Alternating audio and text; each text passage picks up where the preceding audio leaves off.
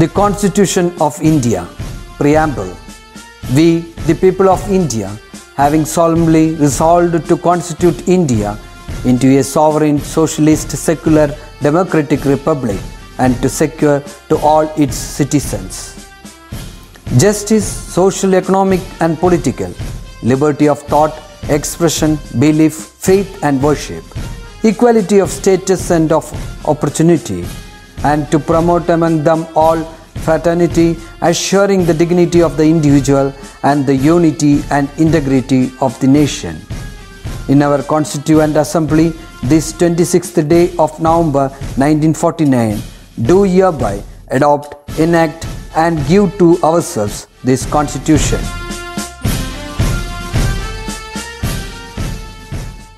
ഹരി ഓം നമസ്തേ ആദ്യത്തെ കുറച്ച് ക്ലാസ്സുകളിൽ നിന്നായിട്ട് നമ്മൾ സംസ്കൃതത്തിലെ ആദ്യത്തെ പാഠം പഠിച്ചു. സുന്ദരോയം ജീവലോകഹ എന്ന കവിതയും അതുമായി ബന്ധപ്പെട്ട പ്രവർത്തനങ്ങളുമെല്ലാം കൃത്യമായി ചെയ്തു. പുല്ലിംഗ സ്ത്രീലിംഗ ശബ്ദങ്ങൾ നപുംസകലിംഗ ശബ്ദങ്ങൾ നമ്മൾ പഠിച്ചു. അതുപോലെ ഏകവചനം ദ്വിവചനം ബഹുവചനം പഠിച്ചു. അത് ലിംഗവ്യത്യാസത്തിൽ എങ്ങനെയാണ് വരാമെന്ന് പഠിച്ചു. ഇങ്ങനെ പുതിയ പുതിയ സംസ്കൃതത്തിന്റെ പ്രവേശന ഘട്ടത്തിലുള്ള നിരവധി കാര്യങ്ങൾ നമ്മൾ കഴിഞ്ഞ ക്ലാസ്സുകളിൽ നിന്നായിട്ട് പഠിച്ചു അല്ലേ? അപ്പോൾ ഇനി നമ്മൾ ഇന്ന് ഒരു പുതിയ പാഠത്തിലേക്ക് കടക്കുകയാണ്. ഈ പുതിയ പാഠത്തിലേക്ക് കടക്കുന്നതിന് മുമ്പ് മാഷ് ഒരു കാര്യം ചോദിക്കാം. നമുക്ക് എന്തൊക്കെ തരത്തിലുള്ള ഉത്സവങ്ങളുണ്ട്? നമ്മുടെ നാട്ടിൻപുറത്ത് ധാരാളം ഉത്സവങ്ങളുണ്ട് അല്ലേ? നാട്ടിൻപുറത്ത് നാട്ടിലെ പൂരം വേല എന്നൊക്കെ പറയുന്ന ധാരാളം ഉത്സവങ്ങളുണ്ട്. ഇതല്ലാതെ ദേശീയ ഉത്സവങ്ങൾ അതായത് കേരളത്തിനാകെ ഒരു ഉത്സവം രാജ്യത്തിന് ഇന്ത്യയ്ക്ക് മുഴുവൻ ഒരു ഉത്സവം അങ്ങനെയുള്ള ഉത്സവങ്ങൾ ഏതൊക്കെയാണ് നമുക്ക് ഓണം ഒരു ഉത്സവമാണ് അല്ലേ? ഓണം ഒരു ആഘോഷമാണ്. വിഷു ഒരു ആഘോഷമാണ് ഇപ്പം നമ്മൾ കൊറോണയൊക്കെ വന്നപ്പോൾ വിഷു ഒന്നും ഒട്ടും ആഘോഷിച്ചില്ല. ഇനിയിപ്പോൾ അടുത്ത മാസം ഓണം വരുമ്പോൾ ഓണം നമുക്ക് ആഘോഷിക്കാൻ പറ്റുമോ എന്ന് നമുക്കറിയില്ല അപ്പോഴേക്കും കൊറോണയൊക്കെ മാറി ഓണം ആഘോഷിക്കാൻ നമുക്ക് പറ്റട്ടെ. അപ്പം നമുക്ക് എന്തായാലും ഇങ്ങനെ കുറേ ഉത്സവങ്ങളുണ്ട്. എന്തിനാ ഉത്സവങ്ങളൊക്കെ? ഇടയ്ക്കിടയ്ക്ക് മനുഷ്യന് കൂടുതൽ ഹാപ്പിയായി ഇരിക്കാൻ വേണ്ടിയിട്ട് തന്റെ എനർജിയെ പുറത്തേക്ക് ഒഴുക്കാൻ പറ്റുന്ന അവസരങ്ങളാണ് ഉത്സവങ്ങൾ എല്ലാം. അപ്പോൾ അങ്ങനെയുള്ള ഒരു ഉത്സവത്തിന്റെ കാര്യമാണ് നമ്മൾ ഇതിൽ പഠിക്കുന്നത്. പക്ഷേ ഈ ഉത്സവം നിങ്ങൾ ഇതുവരെ നേരിട്ട് പങ്കെടുത്തിട്ടില്ലാത്തൊരു ഉത്സവവും ഇനി മുതൽ നിങ്ങളായിട്ട് നടത്തേണ്ട ഉത്സവമാണ് അതായത് ഇതുവരെ നിങ്ങൾ ഈ ഉത്സവത്തിൽ നേരിട്ട് പങ്കെടുത്തിട്ടുണ്ടാവില്ല. പക്ഷേ ഇനി നിങ്ങളാണ് ഈ ഉത്സവം നടത്തേണ്ടത്. അമ്പോ അത്ര വലിയൊരു ഉത്തരവാദിത്വം വരിക എന്താണ് ഉത്സവം നോക്കിയാലോ? ആ ഉത്സവമാണ് ഈ രണ്ടാമത്തെ ചാപ്റ്ററിന്റെ പേര്. നമുക്ക് നോക്കിയാലോ? ദ്വിതീയ പാഠ സംസ്കൃതോത്സവ രണ്ടാമത്തെ പാഠത്തിന്റെ പേരെന്താണ്? സംസ്കൃതോത്സവ എന്നാണ്. അപ്പോൾ ഏതാണ് ഞാൻ ഈ പറഞ്ഞ ഉത്സവം? സംസ്കൃത ഉത്സവം. സംസ്കൃതം തന്നെ ഒരു ഉത്സവമാകുന്ന സംസ്കൃതത്തിന്റെ ഉത്സവമാണ് നമ്മൾ രണ്ടാമത്തെ ചാപ്റ്ററിൽ പഠിക്കുന്ന സംസ്കൃതോത്സവം. നിങ്ങൾക്കറിയോ? ചിങ്ങമാസത്തിലെ പൗർണമി നാളിൽ പൗർണമി എന്ന് പറഞ്ഞാൽ ചന്ദ്രൻ മുഴുവനായിരിക്കുന്ന ആ പൂർണചന്ദ്രനുള്ള ദിവസം ശ്രാവണ പൂർണിമ എന്ന പേരിലാണ് അറിയുക. ആ ശ്രാവണ പൂർണിമ ദിവസത്തിലാണ് സംസ്കൃത ദിനം ആഘോഷിക്കുന്നത്. എന്ത് ദിനം? സംസ്കൃത ദിനം. സംസ്കൃതത്തിന്റെ മഹത്വത്തെപ്പറ്റി ഓർക്കാനും അറിയാനും പുതിയതായി സംസ്കൃതം പഠിച്ചു തുടങ്ങുന്നവർക്ക് പഠിച്ചു തുടങ്ങാനും ഒക്കെയുള്ള അവസരമൊരുക്കുന്ന ലോകം മുഴുവനുള്ള സംസ്കൃത പ്രേമികൾ ഒരുമിച്ച് ആഘോഷിക്കുന്ന ഒരു ഉത്സവമാണ് ശ്രാവണ പൂർണിമ അല്ലെങ്കിൽ സംസ്കൃതോത്സവം. ആ സംസ്കൃതോത്സവവുമായി ബന്ധപ്പെട്ട ഒരു സംഭാഷണ പാഠമാണ് നമ്മളിതിൽ പഠിക്കുന്നത്. ഒരു കോൺവെർസേഷനാണ് നമ്മൾ ഈ ചാപ്റ്ററിൽ പഠിക്കുന്നത്. നമുക്ക് ചാപ്റ്ററിലേക്ക് പോയാലോ? എവിടെയാണ് ഈ കോൺവെർസേഷൻ നടക്കണമെന്ന് അറിയാം നോക്കാം. എവിടെയാണ് ഈ കോൺവെർസേഷൻ നടക്കണം നോക്കിയാലോ? അധ്യാപക കക്ഷ്യാം പ്രവിശതി. അധ്യാപക. അധ്യാപക കഹ? അധ്യാപക. അധ്യാപക ടീച്ചർ. ടീച്ചർ കക്ഷാം പ്രവിശതി. കക്ഷ കക്ഷ. ക്ലാസ് മുറി. ക്ലാസ് മുറിയിലേക്ക് പ്രവിശതി പ്രവേശിക്കുന്നു. അധ്യാപകൻ ക്ലാസ് മുറിയിലേക്ക് പ്രവേശിക്കുന്നു. ഛാത്രാഹ. ഛാത്രാഹ കേ ഛാത്രാഹ ഭവന്തഹ. നിങ്ങളെല്ലാവരുമാണ് കുട്ടികൾ. ആ ഛാത്രാഹ വിദ്യാർത്ഥികൾ എന്ത് ചെയ്തു? ഉത്ഥായ. ഉത്ഥായ. അധ്യാപകൻ ക്ലാസ്സിലേക്ക് പ്രവേശിക്കുമ്പോൾ കുട്ടികൾ ആദ്യം എന്താ ചെയ്യുക? ഉത്ഥാനം ചെയ്യും. ഉത്ഥായ എഴുന്നേറ്റിട്ട് നമോ ഗുരുഭ്യ നമ്മൾ കോൺവെർസേഷനല്ലേ പഠിക്കുന്നത്. അപ്പോൾ ഡയലോഗ് മാത്രമേ ഉള്ളൂ. കുട്ടികൾ എന്ത് പറഞ്ഞു? നമോ ഗുരുഭ്യ ഗുരുഭ്യ നമ. ഗുരുവിന് നമസ്കാരം. നമ്മൾ ഇംഗ്ലീഷിൽ ഗുഡ് മോർണിംഗ് സാർ അല്ലെങ്കിൽ ഗുഡ് മോർണിംഗ് ടീച്ചർ എന്ന് പറയില്ലേ. അപ്പോൾ അതുപോലെ ഇവിടെ കുട്ടികൾ പറയുന്നു നമോ ഗുരുഭ്യ എന്ന് പറഞ്ഞു. അപ്പോൾ അധ്യാപകൻ തിരിച്ചു പറയാണ് അധ്യാപക നമോ നമ. നമസ്തേ എല്ലാവർക്കും നമസ്കാരം. സുപ്രഭാതം. സുപ്രഭാതം. എപ്പോഴാണ് സുപ്രഭാതം? ഗുഡ് മോർണിംഗ് സുപ്രഭാതം. അപ്പോൾ ഗുഡ് ആഫ്റ്റർനൂൺ എന്ത് പറയും? സുമധ്യാഹ്നം. പറഞ്ഞേ സുമധ്യാഹ്നം. ഒരിക്കൽ കൂടി സുമധ്യാഹ്നം. രാവിലെ നമ്മൾ എന്ത് പറയും? സുപ്രഭാതം. ഉച്ചയ്ക്ക് ഗുഡ് ആഫ്റ്റർനൂൺ നമ്മൾ എന്ത് പറയും? സുമധ്യാഹ്നം. ഇനി ഗുഡ് ഈവനിങ്ങിന് എന്ത് പറയും? ഗുഡ് ഈവനിങ്ങിന് ഈവനിങ് ടൈമിൽ ആരെങ്കിലും കണ്ടാൽ നമ്മൾ എന്ത് പറയും? സുസായാഹ്നം. സുസായാഹ്നം. സുസായാഹ്നം. ഇനി രാത്രിക്ക് എന്ത് പറയും? രാത്രി ഉറങ്ങാൻ പോകുമ്പോൾ സുനിഷ അല്ലെങ്കിൽ ശുഭരാത്രി. നമ്മൾ നിങ്ങൾക്കുമാകാം കോടീശ്വരൻ ഒക്കെ കാണുമ്പോൾ സുരേഷ് ഗോപി പറയില്ലേ? സുഖനിദ്ര ശുഭനിദ്ര ഗുഡ് നൈറ്റ് എന്ന് പറയില്ലേ? അപ്പോൾ ശുഭനിദ്ര എന്ന് പറഞ്ഞാൽ എന്താ? ഗുഡ് സ്ലീപ്പാണ് നമ്മളവിടെ വിഷ് ചെയ്യണത്. അതുപോലെ ശുഭരാത്രി ഗുഡ് നൈറ്റ് എന്ന് നമുക്ക് പറയാം. അപ്പോൾ സുപ്രഭാതം സുമധ്യാഹ്നം സുസായാഹ്നം സുര സുനിശ അല്ലെങ്കിൽ ശുഭരാത്രി എന്ന് നാല് ഘട്ടത്തിലായിട്ട് നമുക്ക് വിഷ് ചെയ്യാം. അപ്പോൾ ഇവിടെ നമ്മുടെ അധ്യാപകൻ പറഞ്ഞു സുപ്രഭാതം ഗുഡ് മോർണിംഗ് ടു ഓൾ എന്ന് പറഞ്ഞു. ഉപവിശത ഉപവിശത. എന്തായിരിക്കും ഗുഡ് മോർണിംഗ് പറഞ്ഞ സാർ അടുത്ത് പറയാ? സിറ്റ് ഡൗൺ ഉപവിശത. ഏകം വിജ്ഞാപനം അസ്തി. ഏകം വിജ്ഞാപനം അസ്തി. ഏകം കിമസ്തി? ഏകം വിജ്ഞാപനം. ഏകം ഏകം ഒന്ന്. ഒരു വിജ്ഞാപനം വിജ്ഞാപനം അറിയിപ്പ്. അറിയിപ്പ് അസ്തി ഉണ്ട്. ഏകം വിജ്ഞാപനം അസ്തി. ഒരു അറിയിപ്പുണ്ട്. ശൃണ്വന്തു ശൃണ്വന്തു. ഭവന്തഃ ഭവന്ത ശൃണ്വന്തു. നിങ്ങൾ കേട്ടോളൂ ഒരു വിജ്ഞാപനം ഉണ്ട് ഒരു അറിയിപ്പുണ്ട്. എന്താണ് അറിയിപ്പ്? എന്ന് പറഞ്ഞ് അധ്യാപകൻ ആ വിജ്ഞാപനം വായിക്കുകയാണ്. വിജ്ഞാപനം പഠതി വിജ്ഞാപനം പഠതി. അധ്യാപക വിജ്ഞാപനം ഉദ്ഘാട്യ പഠതി തുറന്ന് വായിക്കുന്നു. ആ വിജ്ഞാപനമാണ് പിന്നീട് അവിടെ നമ്മൾ ബോക്സിൽ നൽകിയിട്ടുള്ളത്. പ്രിയ ഛാത്രാഹ പ്രിയ ഛാത്രാഹ. ഛാത്രാഹ എന്നുള്ള വാക്കിന്റെ അർത്ഥം നമ്മൾ പഠിച്ചിരുന്നു. എന്താണ് ഛാത്രാഹ? കുട്ടികൾ. പ്രിയ ഛാത്രാഹ പ്രിയപ്പെട്ട കുട്ടികളെ അസ്മാകം വിദ്യാലയെ അസ്മാകം വിദ്യാലയെ സംസ്കൃതോത്സവ ആഗാമിനി ഗുരുവാസരെ ഭവിഷ്യതി. അസ്മാകം വിദ്യാലയെ സംസ്കൃതോത്സവ ആഗാമിനി ഗുരുവാസരെ ഭവിഷ്യതി. ഭാഗം ഗ്രഹീതും ഇച്ഛന്തः നാമാനി വിലിഖ്യ സംസ്കൃതാധ്യാപകസ്യ ഹസ്തേ യച്ഛന്തു.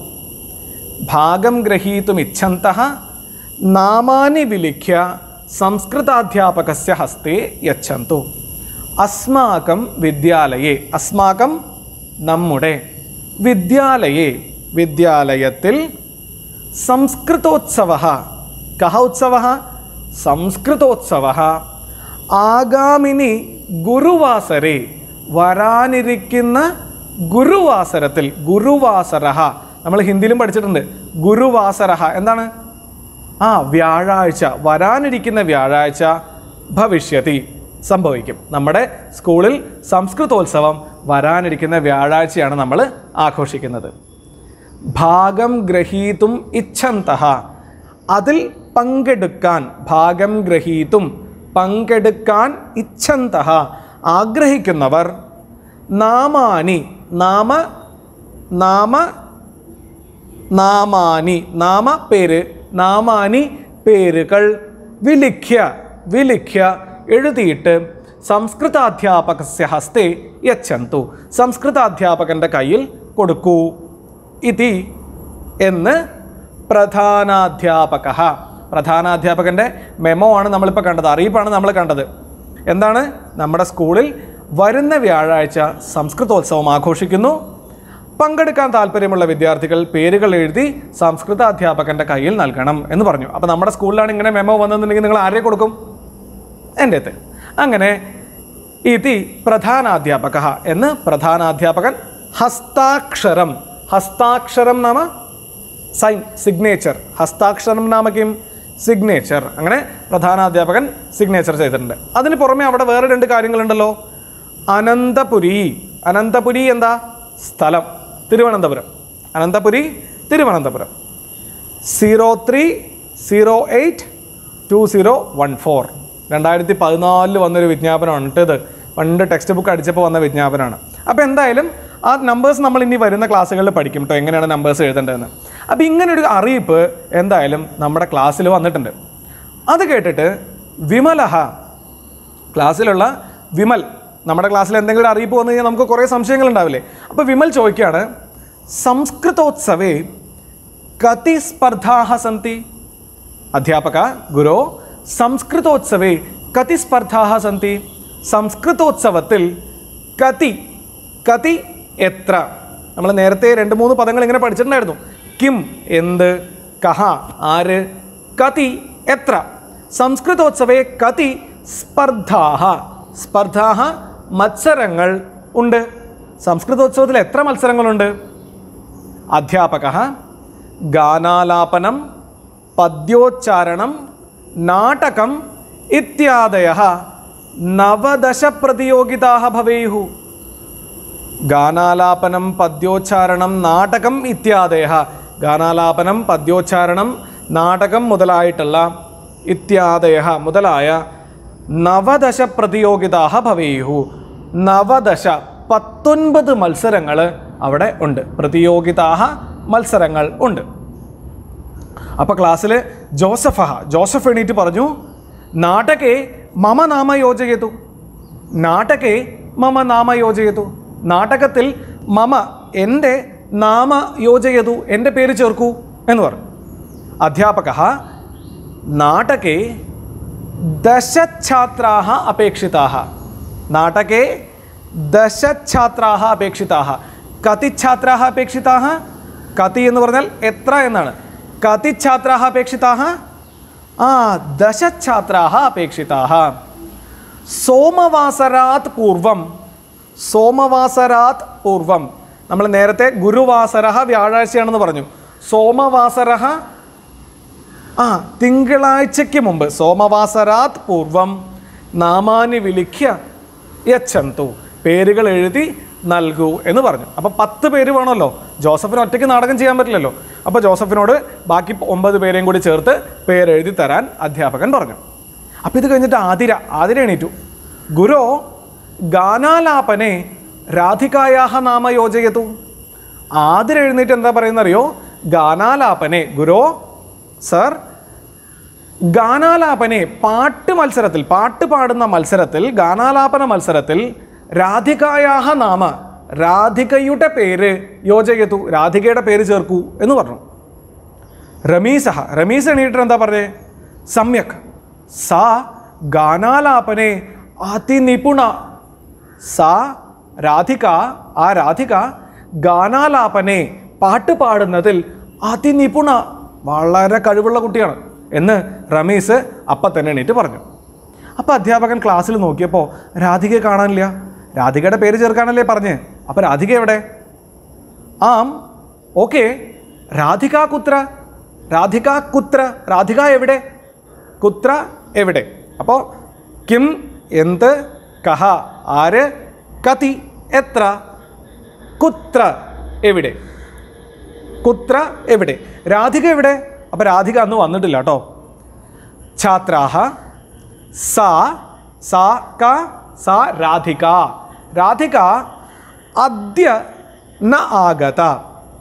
രാധിക അദ്യ ന ആഗത. രാധിക ഇന്ന് അദ്യ ഇന്ന് വന്നിട്ടില്ല. അദ്യ രാധിക ന ആഗത. ഇന്ന് രാധിക വന്നിട്ടില്ല. അപ്പോൾ ഇന്ന് എന്നുള്ളതിന് സംസ്കൃതത്തിൽ എന്താ പറയുക അദ്യ. അദ്യ എന്ന് പറയും. നാളെ മറ്റന്നാൾ എന്നുള്ളതിനൊക്കെ എന്താ പറയാന്ന് നമ്മൾ ഈ പാഠത്തിന്റെ പ്രവർത്തനത്തിൽ നമുക്ക് പഠിക്കാം കേട്ടോ. അപ്പം ഇന്ന് രാധിക വന്നിട്ടില്ല. അദ്യ രാധിക ന ആഗത. അപ്പോൾ സാർ ചോദിച്ചു എന്ത് പറ്റി? കിം അഭവത്? കിം അഭവത് എന്ത് പറ്റി? വിവേക സാ ജ്വരേണ പീഡിത ഭവതി.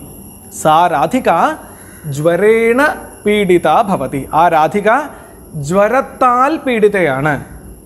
പനി പിടിച്ചിരിക്കുകയാണ് രാധികയ്ക്ക്. സാധാരണ നമ്മൾ സ്കൂളിൽ വരാതിരിക്കാൻ കാരണം പനിയല്ലേ? ഇത്തവണ കൊറോണയാണ് അല്ലേ? കൊറോണയും ഒരു തരത്തിലുള്ള പനിയാണ് അപ്പോൾ എന്തായാലും രാധികയ്ക്ക് പനിയാണ്. രാധിക ജ്വരേണ പീഡിത അസ്തി. അധ്യാപക അസ്തു. ആയിക്കോട്ടെ. ഹേ വിവേക. അല്ലയോ വിവേക. കാര്യമിതം കാര്യമിതം അദ്യൈവ അദ്യൈവ. ഇന്ന് തന്നെ രാധികാം നിവേദയ. ഈ കാര്യം രാധികയുടെ പേര് ഗാനാലാപനത്തിൽ ചേർത്തിട്ടുണ്ട് എന്നുള്ള കാര്യം അദ്യൈവ ഇന്ന് തന്നെ രാധികാം നിവേദയ രാധികയെ അറിയിക്കൂ എന്ന് പറഞ്ഞു. വിവേക ആം നിവേദയാമി ഞാൻ തീർച്ചയായും അറിയിക്കാം. ആം നിവേദയാമി അറിയിക്കാം. അധ്യാപക ഭോഹോ ഛാത്രാഹ അല്ലയോ കുട്ടികളെ സർവേ എല്ലാവരും സംസ്കൃതോത്സവായ സംസ്കൃതോത്സവത്തിന് വേണ്ടി സജ്ജാഹ ഭവന്തോ. സജ്ജരായിരുന്നാലും തയ്യാറെടുത്തുകൊള്ളൂ എന്ന് പറഞ്ഞു.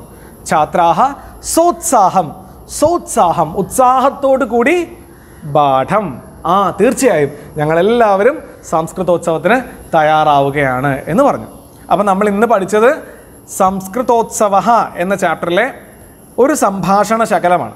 അപ്പം മാഷ് ഇങ്ങനെ പറഞ്ഞു കൊടുക്കുകയാണ്. സംസ്കൃതോത്സവം വരുന്നുണ്ട്. ആ സംസ്കൃതോത്സവവുമായി ബന്ധപ്പെട്ട് നിങ്ങൾ തയ്യാറാവണം മത്സരങ്ങൾക്ക് എന്നൊക്കെ പറഞ്ഞു കൊടുക്കുമ്പോൾ കുറേ പേർക്ക് സംശയമുണ്ട് കുറേ പേര് ഫ്രണ്ട്സിന് വേണ്ടി ഹെൽപ്പ് ചെയ്യുന്നുണ്ട് ഇങ്ങനെയുള്ള കാര്യങ്ങളൊക്കെ സംഭവിക്കുന്നു. ഇതല്ലാതെ ഇതുമായി ബന്ധപ്പെട്ട് നടക്കുന്ന ഒരു സംഭാഷണമാണ് അടുത്ത പേജിലുള്ളത്. അപ്പോൾ നമുക്ക് ആ അടുത്ത പേജിലെ സംഭാഷണവും ഈ പാഠവുമായി ബന്ധപ്പെട്ട കുറച്ച് പ്രവർത്തനങ്ങൾ നമുക്ക് അടുത്ത ക്ലാസ്സിൽ ചെയ്യാം.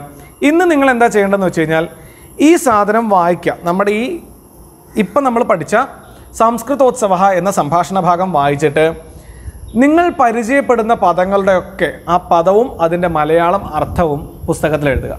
ഓക്കെ? ആ പദം അതിന്റെ മലയാളം അർത്ഥം. അതുപോലെ നമ്മളിതിൽ നിന്ന് നാലോ അഞ്ചോ ചോദ്യ പദങ്ങൾ അതായത് ചോദ്യത്തെ സൂചിപ്പിക്കുന്ന നാലോ അഞ്ചോ പദങ്ങൾ പഠിച്ചിട്ടുണ്ട്. ആ പദങ്ങളുടെ കൂടെ അർത്ഥം എഴുതാൻ ശ്രമിക്കുക. ഇത് ഒരാഴ്ച കൊണ്ട് ചെയ്തു തീർത്താൽ മതി. ഒറ്റയടിക്ക് ചെയ്യാനിരിക്കരുത്. കുറേശ്ശെ കുറേശ്ശെ ആയിട്ട് വായിക്കാം. പക്ഷേ സംസ്കൃതം പുസ്തകം എല്ലാ ദിവസവും ഒരു തവണയെങ്കിലും തുറന്ന് വായിക്കണം. ഓക്കെ? വായിക്കാൻ നമ്മൾ പഠിക്കുന്നേ ഉള്ളൂ. അപ്പം നല്ല ഫ്ലുവന്റ് ആയിട്ട് വായിക്കണം എന്നുണ്ടെങ്കിൽ ആദ്യം എന്ത് ചെയ്യണം? വായിച്ച് ശീലിക്കണം. അതിനു വേണ്ടിയിട്ട് സംസ്കൃതം പുസ്തകം എല്ലാ ദിവസവും തുറന്ന് ഉറക്കെ വായിക്കണം. ഓക്കെ? ഉറക്കെ വായിച്ചില്ല എന്നുണ്ടെങ്കിൽ അമ്മമാർ മാഷിന്റെ അടുത്ത് പറഞ്ഞു തരും. മാഷിന്റെ അടുത്ത് പറഞ്ഞിട്ട് മക്കൾ ഉറക്കെ വായിച്ചില്ല എന്നുണ്ടെങ്കിൽ മാഷ് മക്കളുടെ വീട്ടിലേക്ക് വരും. എന്നിട്ട് നമ്മൾ രണ്ടുപേരും കൂടി ഇരുന്ന് വായിക്കും. ഓക്കെ? അത് കുഴപ്പമില്ലാന്നുണ്ടെങ്കിൽ ഞാൻ അങ്ങോട്ട് വരാം. റെഡി അപ്പോൾ എന്തായാലും പുസ്തകം തുറന്നു വെച്ച് ഉറക്ക വായിക്കുക. അടുത്ത ക്ലാസ്സിൽ ഈ പാഠത്തിന്റെ പ്രവർത്തനങ്ങളും ഒക്കെ ആയിട്ട് നമുക്ക് വീണ്ടും കാണാം. ഓക്കെ അപ്പോൾ സംസ്കൃതോത്സവത്തിന് എല്ലാവരും തയ്യാറാവുകയല്ലേ? ഇനി ഈ വർഷം ഈ സംസ്കൃതോത്സവത്തിന്റെ സംസ്കൃത ദിനം എന്നാ വരുന്നതെന്നറിയോ? സംസ്കൃത ദിനം വരുന്നത് ഓഗസ്റ്റ് മൂന്നാം തീയതിയാണ്. എന്നാണ്? ഓഗസ്റ്റ് മൂന്നാം തീയതിയാണ്. അപ്പം മക്കളൊരു കാര്യം ചെയ്യോ? ഈ ഓഗസ്റ്റ് മൂന്നാം തീയതിയിലേക്കുള്ള സംസ്കൃതോത്സവത്തിന്റെ ഒരു വിജ്ഞാപനം. ഇപ്പം നമ്മൾ അതിലൊരു വിജ്ഞാപനം കണ്ടു. അതിൽ ഓഗസ്റ്റ് മൂന്നാം തീയതിയിലേക്കുള്ളൊരു വിജ്ഞാപനം മക്കളുടെ ബുക്കിൽ തയ്യാറാക്കണം. ഓക്കെ? സംസ്കൃതോത്സവം വരുന്ന ആ ദിവസം നടക്കും എന്ന് പറഞ്ഞിട്ട് ഒരു വിജ്ഞാപനം തയ്യാറാക്കണം. ഓക്കെ? നോക്കല്ലേ? ശരി. അപ്പോൾ എന്തായാലും ഇന്നത്തെ ക്ലാസ്സിൽ ഇത്രയൊക്കെ വിവരങ്ങൾ പങ്കുവെക്കാൻ കഴിഞ്ഞതിൽ സന്തോഷം. എല്ലാവരും ഹാപ്പി ആയിരിക്കുക നന്നായി പഠിക്കുക. സേഫ് ആയിരിക്കുക ഓക്കെ? ഇടയ്ക്കിടയ്ക്ക് കൈകളൊക്കെ സാനിറ്റൈസ് ചെയ്യുക അല്ലെങ്കിൽ കൈ കഴുകുക. പുറത്തു നിന്ന് പോയിട്ട് വരുന്നവരുണ്ടെന്നുണ്ടെങ്കിൽ അവർ കുളിച്ച് വൃത്തിയാകുന്നത് വരെ അവരെ പോയി തൊടാതിരിക്കുക. അങ്ങനെ നമ്മൾ ഹെൽത്തി ആയിരിക്കുക മറ്റുള്ളവരെയും ഹെൽത്തി ആയി സൂക്ഷിക്കുക. ഓക്കെ? അപ്പോൾ അടുത്ത ക്ലാസ്സിൽ നമുക്ക് വീണ്ടും കാണാം. അതുവരേക്കും എല്ലാവർക്കും രാം രാം